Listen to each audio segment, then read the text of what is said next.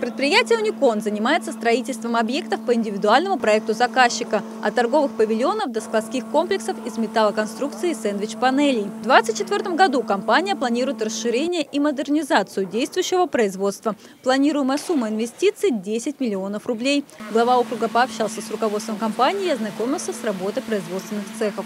Предприятие на рынке не так давно, но за 4 года успело себя зарекомендовать. Среди крупных проектов лесопарк Кускова, воскресная школа при Георгиевском храме, посты ДПС. В Щелкове тоже немало объектов, построенных компанией. Например, обновленные павильоны «Щелково хлеб» и фермы Цветковых.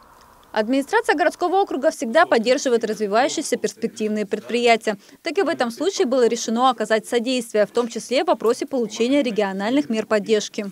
Из важного. В штате компании вместе с тем, что генеральный директор сам из Щелкова, трудятся в основном местные жители, в том числе многие из Монина, Фрязина, Лосина, Петровского.